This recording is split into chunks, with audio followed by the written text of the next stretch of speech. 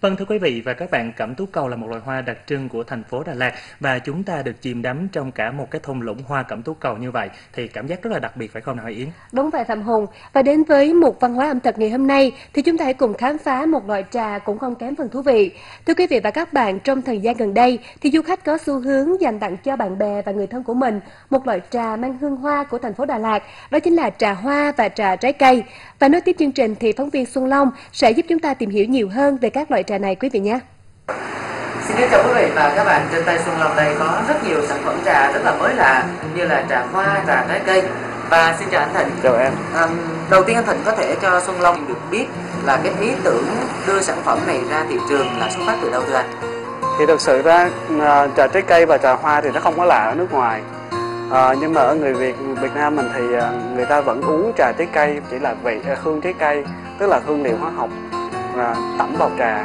Còn ở đây thì trà trái cây của mình thì kết hợp giữa trái trái cây thật sự được sấy lên và ừ, cùng với một số gia vị để tạo ra trộn với trà để tạo ra một cái loại trà không những có không những có hương mà còn có vị nữa vị của cái của trái cây đó. Và trà, trà hoa thì ừ, ở Việt Nam mình đa số tất cả các loại trà hoa đều là trà nhập hết.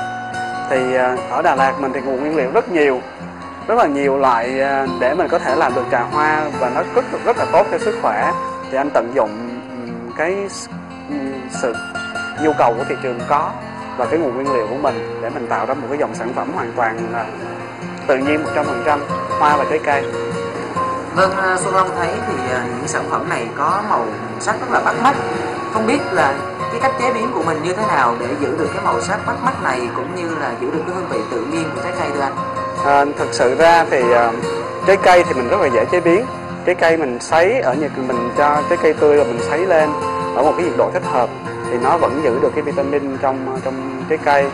À, nhưng mà ở hoa thì nó hơi phức tạp hơn tí xíu tại vì hoa thì nguồn nguyên liệu hoa ở Đà Lạt mình rất nhiều nhưng mà ừ, đa số thì người ta trồng người ta bón phân và ừ, sử dụng thuốc rất là nhiều. Khi đó mình phải có một cái nguồn nguyên liệu mình phải tạo ra được một cái nguồn nguồn nguyên liệu tương đối là ổn định. Sau đó là mình phải khử khử độc những cái loại hoa này đi khử độc uh, ờ, bằng nhiều cái, cái dung dịch để mình uh, có cái tính sát trùng rất là cao. Để khử độc nó đi và sau đó mình cho sấy ở nhiệt độ rất thấp trong thời gian rất dài. Đó là 40 độ trong vòng hơn 22 tiếng đồng hồ.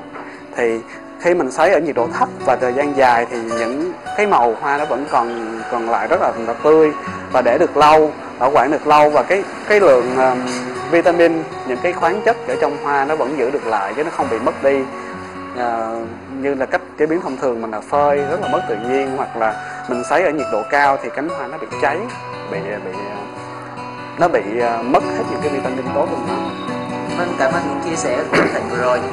Và không biết là anh Thịnh à, sẽ cho Xuân Long dùng thử loại trà gì đây ạ? Ở đây mình sẽ có cái loại trà này là, là trà hoa. À, thành phần chính của nó vẫn là hoa hồng cộng với một ít hoa cúc và một số loại trái cây hoa một giấm atiso đỏ để tạo được cái màu đẹp hơn. Thì à, cái loại trà này mình dùng ngon nhất là mình kết hợp với một tí xíu mật ong hoặc là mình có thể dùng đường cũng được nếu như mà người không có mật ong. Ở đây mình sẽ có một cái bình trà hoa.